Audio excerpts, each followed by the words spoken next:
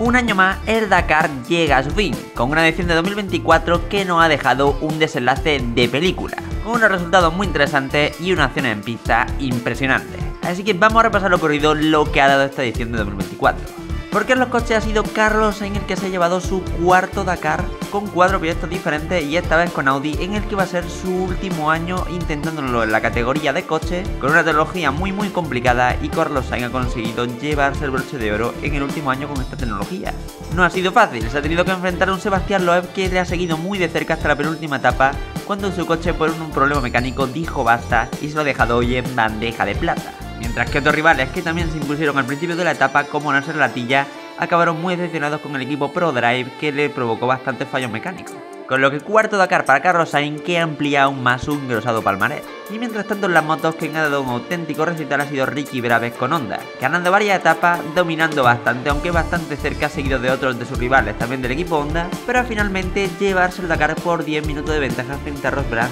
y 11 frente a Van Berberen, lo que es una debacle de KTM que no ha conseguido ir con una moto en el podio. Pasamos a hablar de los quads, donde Manuel Andújar, después de la caída del año pasado que le privó de luchar por el Dakar, se lleva este año la victoria frente a su gran rival, Alexander Giro. Por nada menos que 8 minutos, muy apretado también todo hacia el final, pero el argentino el que consigue llevarse la victoria de este Dakar 2024. Y pasamos a hablar de los Challengers, los antiguos vehículos ligeros, donde Cristina Gutiérrez también ha ganado la general en esta categoría, con un Taurus del Red Bull Junior Team, luchando muy pero que muy de cerca con Michel Gutiérrez, también con un Taurus, que estaban hasta la última etapa muy pegados, pero Cristina ha aumentado el ritmo y se lleva un triunfo histórico en la categoría. Veremos a ver qué hace el año que viene en los coches con Dacia. Mientras tanto, los y Said ha sido Xavier de Soltrader que se ha llevado la victoria. Ganó varias etapas a mitad de Dakar, pero lo cierto es que hacia la parte final estuvo todo muy pero que muy cercano. Y es que de hecho se ha llevado el triunfo con nada menos que 2 minutos frente a Jerome de Sadeler, estando la victoria muy pero que muy en jaque hasta los últimos kilómetros de esta edición del Dakar. Y a diferencia mínima a la gran ventaja que ha tenido Martín Macique en los camiones, que ha sido ahora ha sacado el segundo clasificado Alex Lombrice, es lo que ha sido de nuevo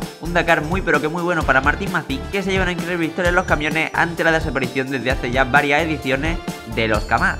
Así que esto ha sido todo, esto ha sido lo que ha dado este Dakar 2024, desde luego uno muy pero que muy interesante que nos ha dejado lucha bastante abierta hasta el final y un resultado histórico. Así que hasta la edición del año que viene, poco más. Gracias por la visita y hasta la próxima.